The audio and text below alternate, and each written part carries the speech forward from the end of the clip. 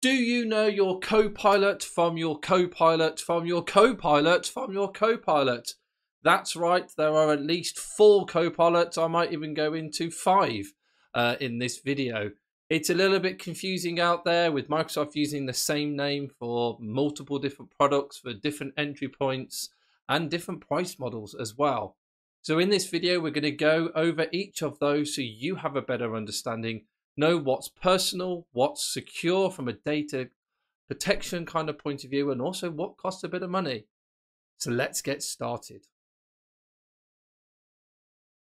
The name changes have been confusing. We've had Bing Chat, Bing Chat Enterprise. We've got the ability to chat with our data with the Copilot for Microsoft 365 license. And now we've got a new product as well. That's why actually this is the second time I've recorded this video because we now have Copilot Pro where they sit from an identity point of view, an organizational kind of side of things, where data protection is so key to many CISOs and heads of IT.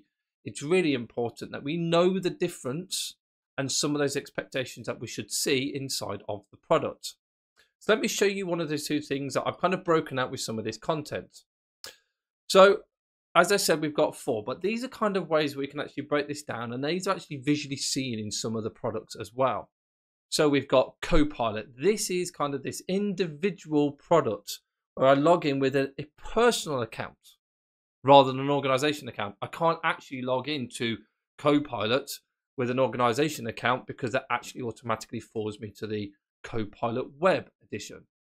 So you can kind of see there that these things are broken down with logging in with a Microsoft account and also logging in with that Microsoft Entra Azure AD account, which means that you get all sorts of different protection rights, things that align to maybe your country's data sovereignty agreement with uh, Microsoft, GDPR, whatever it may well be. So they kind of kit in when you actually within that organization and identity when you log in. So you can kind of see actually how these are now broken down into two. If you're interested in that individual side of things, you've got Copilot. This is your Chat GPT for your DALL-E 3, the ability to be able to go in there, log in with your Microsoft account and ask questions, put prompts in, gets responses. This data is kind of saved by Microsoft. They're using this data to train things the same way that happens with ChatGPT, with Claude 2, and different AI kind of models. Copilot Pro was announced just a few days ago, and this brings in some of those automation that you can go into Word, into Excel. Can you create me a presentation all about Microsoft Copilot? And it will go off and build a whole bunch of slides for you, that kind of thing. Copilot Web. This is what was formerly known as Bing Chat Enterprise the ability to be able to use that kind of DALL-E 3, the ability to be able to say, can you tell me what's going on in the news today? And it goes off, uses the Bing index, and actually brings back a response based on just what it sees on the web. It doesn't look at what's going on inside of the cloud. What we then have is also this Copilot for Microsoft 365. This is where we can start chatting to our corporate data, our data that's inside of the Microsoft Graph, that you individually have permission to be able to see. You also get the automation as well inside of the Microsoft products like Word, Excel, PowerPoint, like I was just sharing about from a Copilot Pro point of view. What we have, as I say, these are some of the names that we've previously had. Copilot was previously named Bing Chat. Copilot Web was previously called Bing Chat Enterprise, where you could log in with that work account. We've now got this Copilot Pro, and this is a new product. Copilot for Microsoft 365 technically had another name. It was called Microsoft 365 Copilot, but not really much of a difference between those. As I was mentioning, Copilot Pro has now actually been made available to us. This is this new product, as it says there. Still, it's your everyday AI companion, but this is inside the Office applications. And you have some extensibility options, but if you're kind of buying and you are personally paying for Office for your machine at home, maybe you're paying it for your kids through a family account, this is where you can now have that wonderful AI automation within Word, Excel, PowerPoint, OneNote to be able to go off and use those and help you to build content and analyze content should you want to be able to do so. What I've also done here is kind of built a bit more of a bigger set of templates and tables out for around what these products do. And as you can kind of see there, I've kept the identity in there so you can still see that you log in with this Microsoft account, that personal account, like your Xbox, your Outlook account, your Hotmail account that's there. And then you've got your Microsoft Entra, which is that corporate account built on top of, it's now called Microsoft Entra, but previously called Azure Active Directory. Uh, but that's where you can control it and you own it by as an organization. There's a cost to some of these. Copilot, when you're logging in with a Microsoft account, is free you can log in now. You can go and create a new Microsoft account should you want to be able to do so. And you can take full advantage of AI, DALL-E 3, ask it to create images. Those personal accounts, if you want to start using it inside the Office applications, that's where it comes. It comes at £20, $20 sorry, per user per month.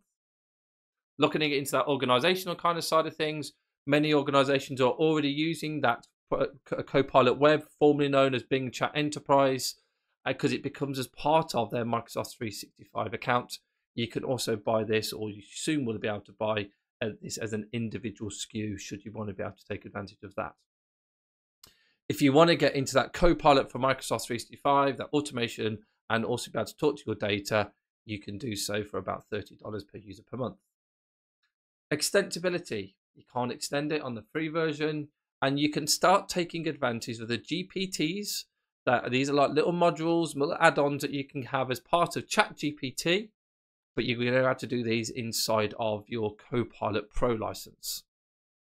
You don't get any kind of extensibility with Copilot Web, that Bing Chat Enterprise, but you have the whole Microsoft Copilot Studio from a whole enterprise. This ability to be able to hook up all sorts of different low code to full development products inside of your conversation with your data.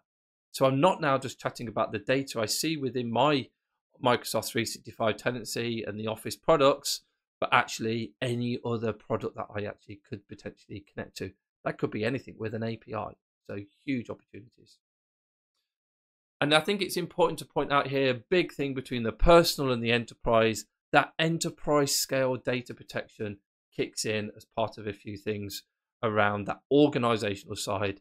There's a big agreement online. I'll leave the uh, a link to what Microsoft is saying around that organization and how they protect that data in the description below should you want to be able to go and read that or if you need to send that off to any kind of legal people.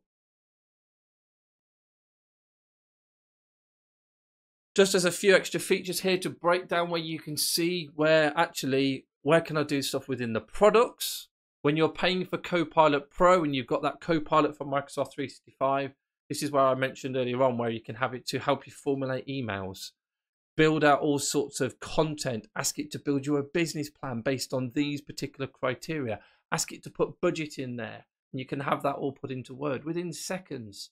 It's giving you two, three pages worth of content that you can then use and go and edit further. Analyze content in spreadsheets and ask it to analyze and make some predictions in the future. Create power, engaging PowerPoint presentations with content just by saying, Can you create me a PowerPoint presentation for a seven year old all about the Roman history? And it goes off and it puts those images in there and puts the text and builds the images out. Also, ask it to summarize those PowerPoints. So instead of having to read 30 pages worth of slides, you can get nice little executive summary down the side.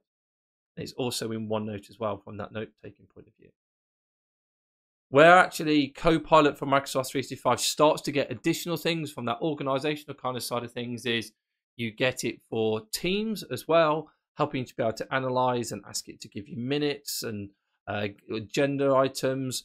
What did this person's view on the meeting? We had a creative meeting for the marketing team. Can you tell me the top five marketing ideas uh, that came from this meeting? That's where that kind of Copilot for Teams sits in as part of that Copilot for Microsoft 365. And then we've got to talk about a bit more around this extensibility as well. We can ground that data further inside of Copilot for Microsoft 365 when we're chatting to the data that you individually have permission to see inside of the Microsoft Graph and part of that extensibility as well.